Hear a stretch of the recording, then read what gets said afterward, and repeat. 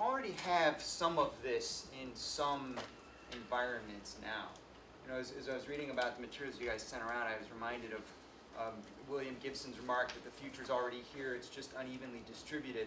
We have sort of uneven distribution of the rights enforcement landscape around the world. And there are uh, countries where we do see, uh, you know, functionally anarchy, uh, because you have countries where, uh, you know, these, these nations don't have potable water, they don't have electricity, and so investing resources in protecting uh, intangible exclusive rights just really isn't that high on the, on the priority list.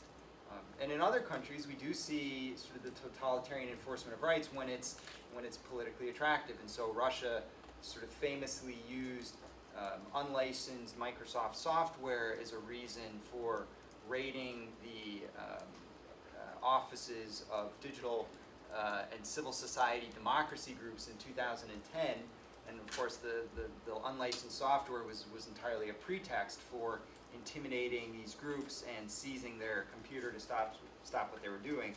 Microsoft, to its credit, sort of hurriedly rushed out a, a, a license to try and address this. Uh, but, you know, I think in some sense the damage was already done.